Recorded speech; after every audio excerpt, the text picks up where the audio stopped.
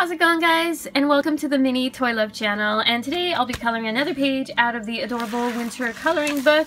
And I have this Peace, Love, and Joy page with a bunch of fun, cute characters. So let's get started.